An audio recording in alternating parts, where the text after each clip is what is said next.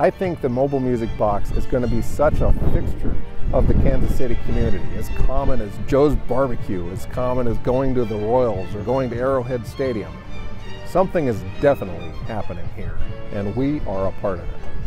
If you take a very nondescript white trailer and you wrap it with some really awesome artwork. It's this really beautiful, like very vibrant neon colors. And watch it unfold like a transformer into a fully fledged music stage.